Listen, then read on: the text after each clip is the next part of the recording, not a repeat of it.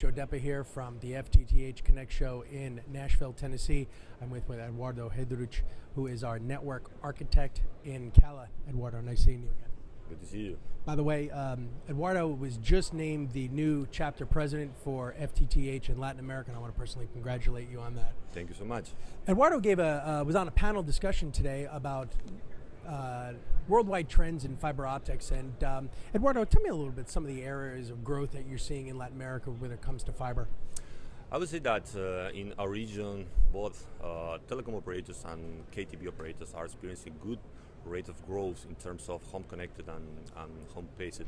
And I would say that this is uh, mostly driven by the necessity to deploy uh, and offer new uh, services and, and, and, not just higher bandwidth but also more uh, uh, reliable and um, stable and, um, and, low latency uh, bandwidth.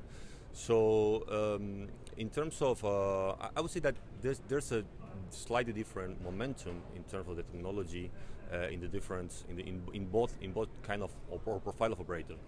Um, we have uh, the telecoms operator that has started to deploy FTTH network much earlier than than in than the MSOs operator.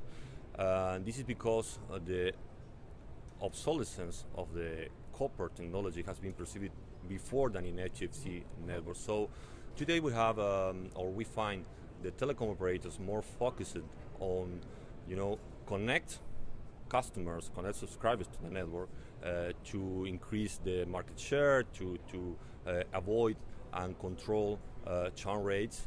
And in the other hand, we have um, uh, the MSOs um, starting to deploy FTTH um, in those areas that the, the, the technology is obsoleted and uh, where they have uh, greenfield areas. Uh, they, they, are in that, that way. One interesting trend that uh, we are seeing in, in the MSOs market is uh, even though the uh, DOCSIS technology, the DOCSIS 3.1 protocol is already available, is released, they realized that the complexity, about the complexity that made the upgrade from 3.0 to 3.1 has, um, and then the, I would say that they realized that the, the PON networks, the passive optical networks, makes more sense in terms of capex, opex, and, and future-proof uh, technology. So uh, it's, a, it's, an interesting trend uh, where we find MSOs going to FTTH, which is something new for, for, for our region.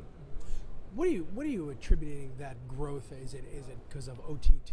Is it increase in cable subscribers? Why is that?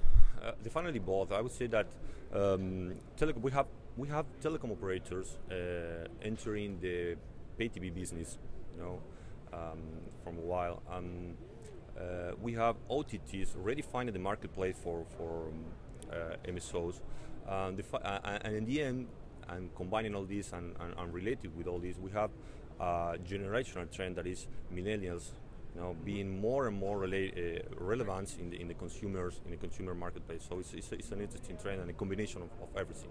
Even with this group, are you are you still seeing obstacles? Um, you know that, that the service providers, the MSOs, what are they running into that might delay them from deploying any additional fiber in their networks? Um, it's, it's, a good question. Well, as you know, in, in a, we, we have a region now with a lot of uh, economical, financial, political, and, and regulatory. You know? Uh, from the economic and financial perspective, um, all related to um, devaluation, inflation impacts directly on the willingness of investment of, uh, of the operators, in, mostly in, in, in, in, in telecommunication infrastructure. On the other hand, we have regulatory issues uh, that is um, related with uh, uh, right of use and the, the, service allowance and everything. So it's a, it's a it's an interesting but complex situation, um, and the customers, our customers, are are addressing that kind of problems. Eduardo, even with these um, obstacles, there are have been some, some great success stories in Latin America, especially in, in Uruguay. Can you tell me a little bit about this project? Yeah, of course. Uh, Uruguay is a unstated company. Uh, that is uh, the incumbent in Uruguay. They have the 10% of the, of the market in fixed telephony, they have the 10% of the market in, in FTTH. Uh, they started um, like four, five, five to six years ago with the, with the project. Uh, they announced the, investment in 2010, more or less. Um, well, uh, today they count around roughly around 1.4 million in, in, in, in home base, which is an incredible number for the size of the country. Uh, they count around uh, 500,000 in terms of uh, um, the home connected, which is a, is a very good number. Uh, in the end, the connect rate is, is uh, 45, 46%, which is very above the, the, the, the the average of a region that is 18.1%, which is a very good number. They are in the top five worldwide uh, ranking in terms of of penetration rate. So they are around 40% of uh, of uh, of the households in the country has a network coverage. So it's an incredible, it's an incredible situation, and for us uh, as CommScope and as uh, FTTH Council, is a, is a, it's an interesting case to, to show to the to the industry. And with, with that success story, how is CommScope uh, situated in the market to, provi- to provide that network and fiber infrastructure to other service providers in Latin America?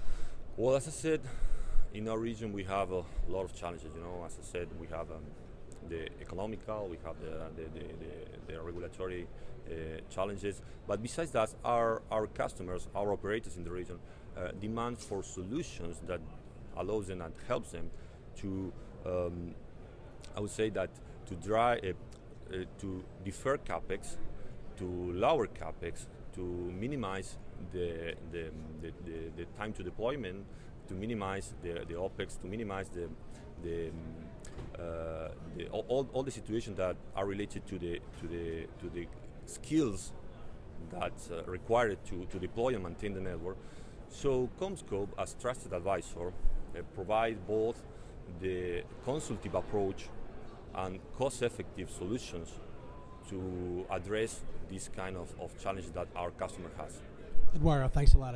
Thanks for taking a couple minutes of your time. Okay, thank you so much.